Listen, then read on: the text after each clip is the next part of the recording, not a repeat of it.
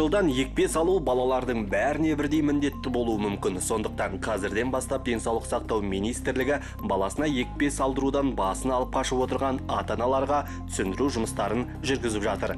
Еліміздің бас санитарлық дәрігері бұл мәселені шешу үшін франция италия және ақштың тәжірибесіне жүгінбек. Мәселен ақшта екпесіз бала мектепке жіберілмейді. Майра рыспаева вакцина саласында еңбек етіп жүрген тәжірибелі дәрігер. Ол бала денсаулығы үшін екпе өте маңызды дейді. Екпе алған бала ешқашан ауырмайды. Ауырса да ол жеңіл түрде ауырады мысалы қызылшамен былтырғы жағдайда биылғы жағдайда да қызылшаның бізбен біздің осы қазақстанда эпидемиологиялық жағдайы өте нашар болып тұр. Көп көп тіркелді.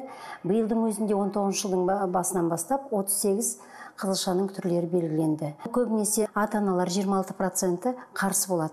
Балаларына э, екпені уақытында салғызуға.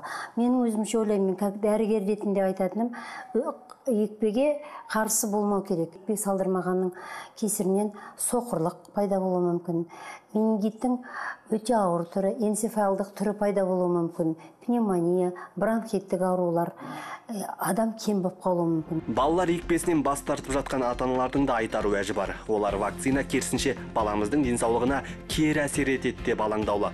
Сондай ананың бірі гаухар қожаханова Мое отношение к прививкам поменялось после того, как... Мен балалар екпесіне екінші балам дүниеге келгеннен кейін қарсы бола бастадым. Өйткені бірінші екпені перзентханада, екіншісін емханада алдық. Содан кейін баламның денсаулығы күрт нашарлай бастады. Дәрігерлер оған ортопедиялық дерматит деген диагноз қойды. Содан кейін балаға ешқандай екпе салдырмадық. Иә, балабақшаға баратын кезде тәрбиешілер қарсы болды. Дегенмен конституция бойынша барлық бала білім алуға құқылы екенін жеткіздім. Қазір балабақшаға барып жүр, ешқандай қиындық туындап жатқан жоқ. в поликлинике иә таяқтың екі ұшы сияқты балалар екпесінің де осындай екі жағы бар әзірге жоғарыда айтылған жайттар денсаулық сақтау министрлігінің ұсыныстары ал нақты заң жобасы депутаттардың шешіміне байланысты қабылданады